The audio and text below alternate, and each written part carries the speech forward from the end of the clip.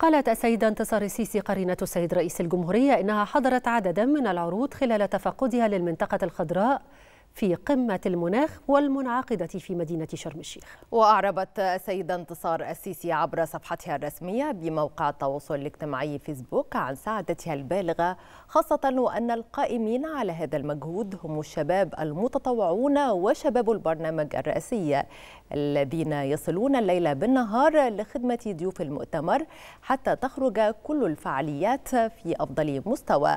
وأشادت السيدة انتصار السيسي بالمستوى غير المسبوق من الاحتراف بفضل ما اكتسبه هؤلاء الشباب من خبرات على مدار السنوات الماضية.